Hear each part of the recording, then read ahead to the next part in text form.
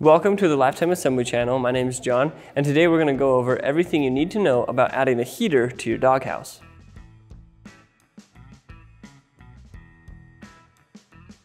When it comes to finding a heater, there may be several options available. You can find them on Amazon, your local hardware store, or your local farm supply store. Before purchasing your heater, make sure it will fit within the frame of the mounting bracket. The mounting bracket size is 11 inches by 12 inches. It's preferable the mounting holes on the heater line up with the pre-drilled holes on the mounting bracket. If they don't, you'll have to drill your own holes on the mounting bracket. In front of me are two heaters purchased from Amazon that will work with the pre-drilled holes on the mounting bracket. The link for these is in the description below.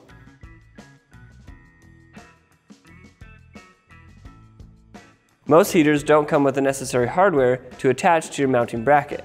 You can purchase the hardware at your local hardware store. For the heaters we've recommended, you'll need four number 10 screws with the appropriate washers and nuts. The screws should be no longer than one and a half inches and no shorter than one and a quarter inches. When you originally purchased the doghouse, it came with this bracket and the hardware. It's not necessary to attach the bracket if you don't plan on using a heater, but if you've already attached it, you will need to remove it to attach the new heater. If you no longer have the mounting bracket or hardware, you will need to reach out to our customer service team at the number below. The mounting bracket has a top and bottom side, so before you add your heater, make sure it's oriented correctly. The top side of the bracket has these holes closer to the edge. Place the power cord through the large opening on the mounting bracket.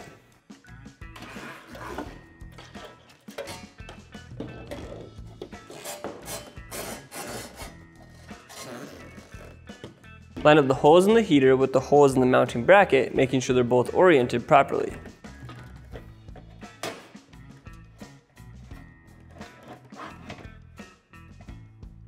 Then insert the bolts you purchased from the hardware store into the holes and add the nut and washers on the back.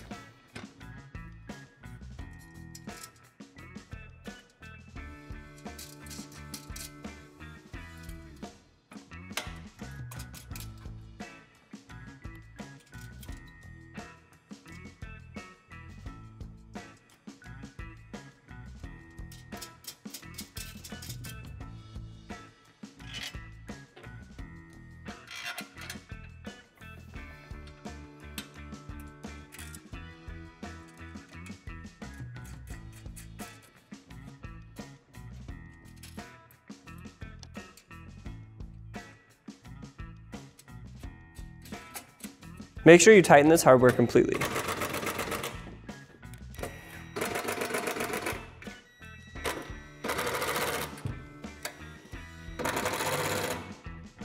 If you haven't already, insert the screw anchors into these recesses on the inside of the back wall. Place a mounting bracket over the screw anchors, making sure the holes at the top line up.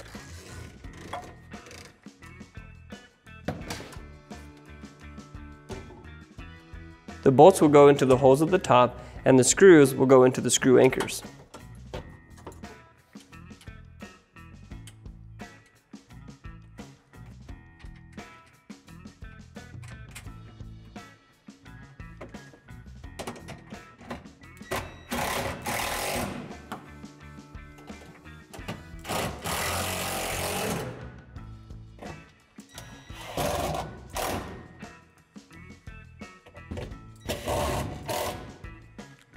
Once the hardware is secure, insert the power cord into the bushing on the floor that you added during the assembly. There's a notch in the floor panel on the back so the power cord doesn't get squished.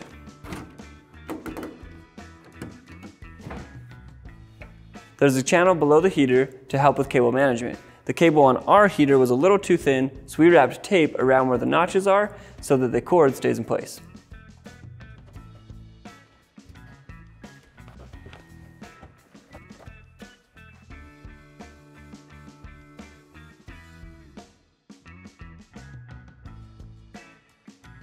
Before you plug in your heater, it's crucial that you review all safety and operating instructions that come with the heater to prevent serious injury or property damage. Thank you for watching this video on how to add a heater to your lifetime doghouse. If you have any other questions, feel free to reach out to our customer service team.